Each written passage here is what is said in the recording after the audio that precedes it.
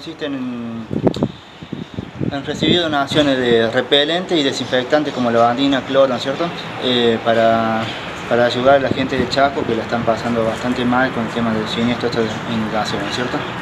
Eh, la campaña se extendería hasta el día viernes, de 8 de la mañana hasta las 10 de la noche, más o menos estamos recibiendo las donaciones en el cuartel, ¿no es? ¿Ya han donado? Eh, sí, bastante la gente ha respondido, eh, la mayoría se han enterado por un audio de WhatsApp, ¿no es cierto? Bueno, y ahora con la prensa tendremos eh, un- eh, una llegada masiva y bueno, con eso eh, tipi- tipificaríamos, duplicaríamos las donaciones, ¿no es cierto? ¿Le toman los datos a las personas? Le tomamos los datos para tener una, una constancia clara y bueno, ahí también estarían poniendo sus firmas los donantes para tener una, una cantidad exacta y quién donó, ¿no es cierto? Eh, para una mayor claridad y bueno, transparencia en el tema de donación. ¿no es cierto? ¿Cómo surgió esta campaña?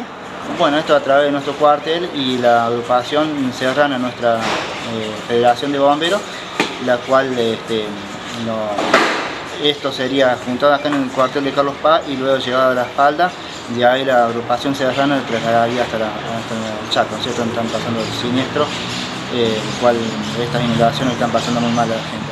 No es la primera vez que hacen este tipo de campañas ayudando, ¿no? Eh, ya se han hecho en otros años, pero bueno, este año eh, eh, directamente se hizo cargo el cuartel de Carlos Paz con la agrupación serrana para recibir este tipo de donaciones.